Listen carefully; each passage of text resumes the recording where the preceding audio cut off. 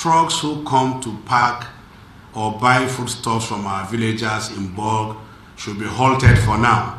We have stopped mass purchase from our local market in all our local government from now henceforth until further notice.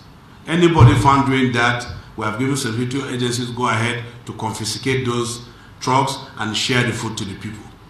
Thank you.